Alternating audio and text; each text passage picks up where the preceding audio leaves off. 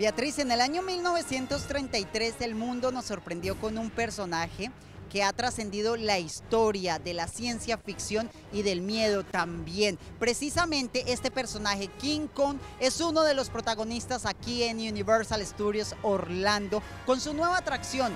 Fue estrenada en junio, en el verano pasado para los países que tienen estaciones, junio, julio, parte de agosto. Así que miren un poco de esta atracción que apela a la claustrofobia de la gente, donde uno se puede llevar más de un susto y además me di a la tarea de buscar al simio más famoso del mundo. Y miren cómo me fue.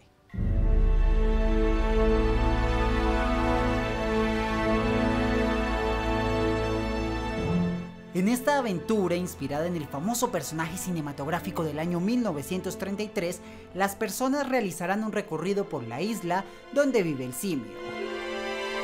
Aquí los combates entre King Kong y diversos animales primitivos cobran vida gracias a la tecnología de cuatro dimensiones, que nos permite sentir los movimientos, percibir olores y hasta ser salpicados por divertidas sustancias.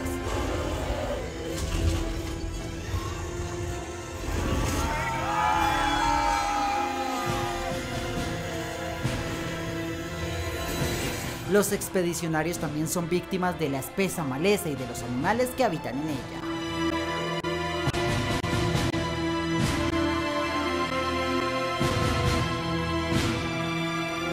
Este carro es el conductor de la historia. Varios actores nos advierten del peligro que representa molestar al rey de la isla. La escenografía también es parte importante, pues nos permite sentirnos como en una verdadera jungla. Kong pasa de la realidad virtual a ser completamente perceptible por todos. Una gran figura animatrónica termina por convencernos de que él es el amo indiscutible. Una historia compleja y a veces oscura que nos permite salir de la zona de confort y poner en alerta todos nuestros sentidos.